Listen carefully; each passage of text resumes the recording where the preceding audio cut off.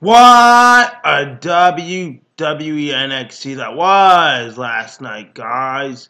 And today, this is going to be my WWE NXT review from last night's show. So here we go.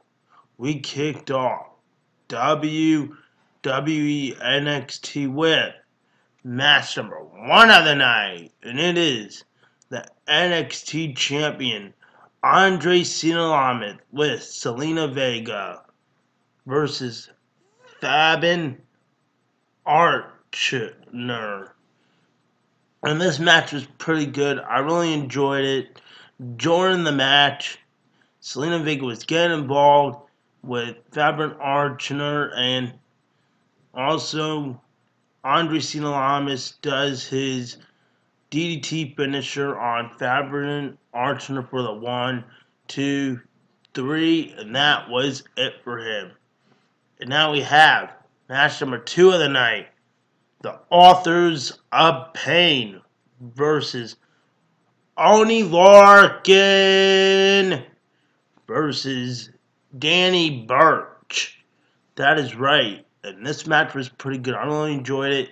The Authors of Pain did their finishers on Oney Lorcan and Danny Burch, and then next they did a clothesline to Danny Burch, and then they pinned Danny Burch, one of the authors of Pain, pinned Danny Burch with the clothesline for the one, two, three, and that was it for the match, guys. Now we have our huge main event of the night and it is Adam Cole, baby, versus Aleister Black. That is right. And this match was awesome. I really enjoyed it. It was kick out after kick out. And plus, I, Adam Cole lost, and Aleister Black does his finisher for the one, two, three, and that was it.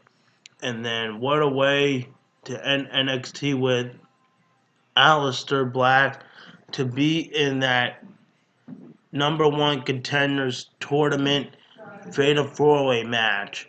So, guys, once again, I hope you all enjoy my WWE NXT review from last night's show. So, guys, once again, please like this video, leave a comment, and subscribe. Peace out, guys. See ya.